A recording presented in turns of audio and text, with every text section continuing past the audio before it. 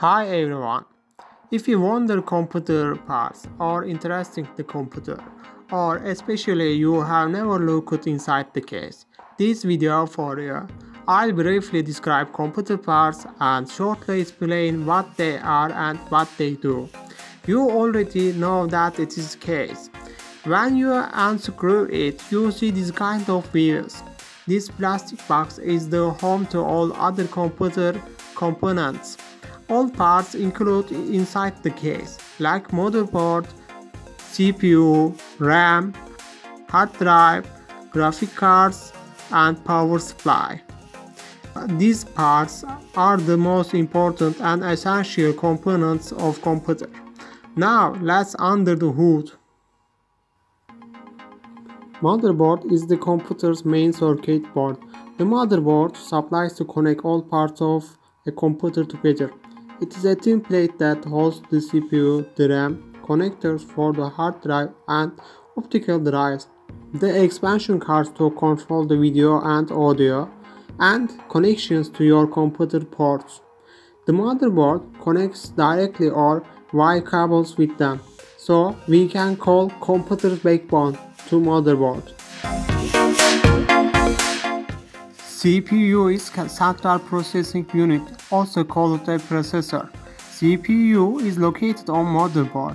It is responsible for evaluate and execute the commands. Whenever you press a key, click the mouse, start an application, open the pictures, you are sending instruction to the CPU. So the CPU called brain of computer. It is the most important component as computer. RAM is random access memory. RAM is complicated component for some people, but it is not. RAM temporarily stores the data. That meaning is when you switch off the computer, the stored data will be lost.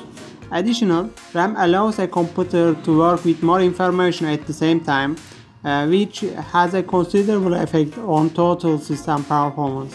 If you don't want to do that your computer is sluggish, when you have several programs open, you must have more RAM. And the computer needs the RAM to use data quickly. The more RAM provides that, the better the computer will perform and the faster it will execute programs and software. Hard drive is another vital component to a computer.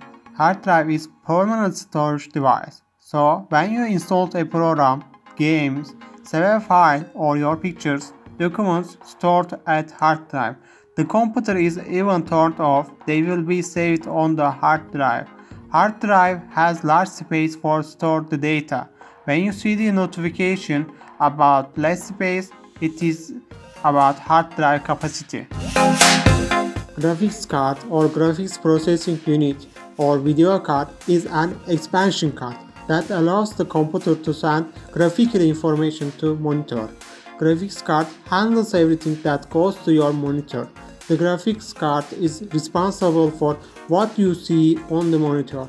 If you are watching high definition video or playing game, your CPU will send that information to your graphics card, which is made specifically for processing graphics. A more powerful graphics card won't speed up your computer for word processing but will fix video playback, stuttering or freezing. The power supply unit is the piece of hardware that converts the power provided from the outlet into usable power for many parts inside the computer case. It sends power through cables to the motherboard and other components. Without the power supply, a computer is useless as it is just a case full of metal and plastic, so it is necessary unit for a computer. Well, we finished looking the main parts, but I will go into detail these parts on next videos. Please subscribe my channel and like this video for support to me. See you on next video.